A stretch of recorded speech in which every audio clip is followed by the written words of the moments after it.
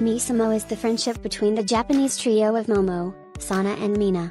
The shortened phrase is often used by Japanese fans when referring to the Japanese members of Twice, and the phrasing has also caught on with fans in Korea, as well as all those over the globe. The group recently returned to the music scene with Talk That Talk for the first time since their contract renewal with JYP Entertainment. Recently the J-Line went viral as netizens called their visuals legendary. They're also known as the Bermuda Triangle of Twice, given their visuals. The J-Line are known for their utterly different charms. Mina, the cold beauty, Sana, the adorable cutie, and Momo, the dancing queen. Fans have been calling for a unit debut for ages.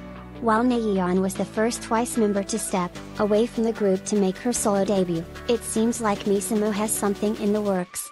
It was discovered that JYP Entertainment has registered for the approval of a trademark for Misamo, piquing fans' curiosity. Some fans speculated that the trio will be forming a unit soon and might debut in Japan.